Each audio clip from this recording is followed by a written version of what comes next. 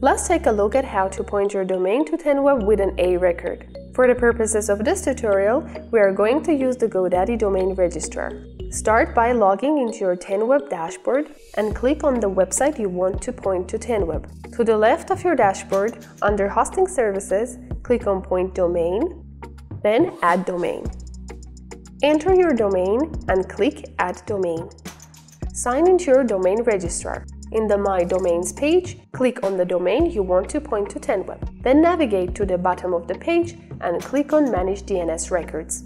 In the Records block, click Add, then for the type, choose A record. Next, go to your 10Web dashboard, click on Credentials, and copy the IPv4 address. Go back to your domain registrar.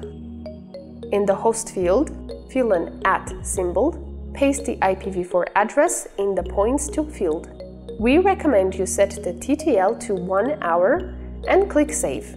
Depending on your domain registrar, this process will vary.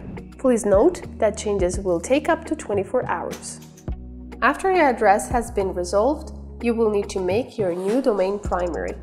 In your domains page, find your new domain and click Make Primary. Congrats! Your domain has been pointed and is live.